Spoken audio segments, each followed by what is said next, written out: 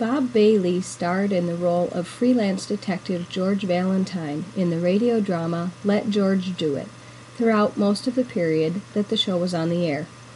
Starting in 1946, he played the role until replaced by Olan Soule for the last few episodes at the end of the series in 1954.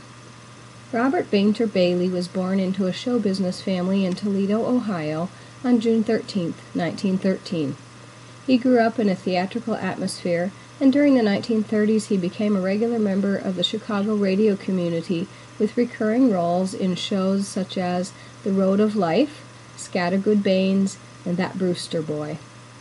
As with most of his contemporaries, the call of Hollywood came, and in 1943 Bailey broke into film, starring as Chester Wright, worldly confidence man, opposite Laurel and Hardy in Jitterbugs. He was also selected for a not quite so prominent role in Laurel and Hardy's next movie, The Dancing Masters.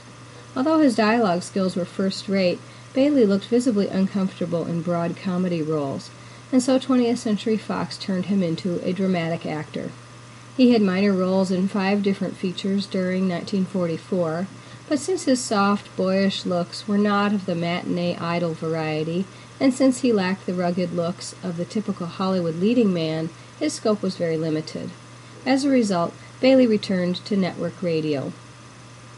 Following his involvement in Let George Do It, Bailey was cast in the lead role in 1955 when CBS revived one of its most popular detective series, Yours Truly, Johnny Dollar.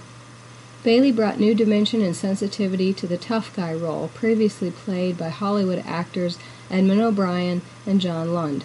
In 1960, when the show relocated to New York, Bailey, who was unwilling to relocate, lost the job. His Johnny Dollar shows are among the most popular and collectible recordings of vintage radio. Bailey, now writing TV scripts, was given a small role in the movie The Birdman of Alcatraz in 1962. But following this, he withdrew from show business and settled into a private, solitary life away from family and friends for years. Bailey suffered a stroke in early 1983 and then struggled with alcoholism as his health declined. He died in California on August 13, 1983, at the age of 70. For old time radio researchers, this is Alicia Williams, your announcer.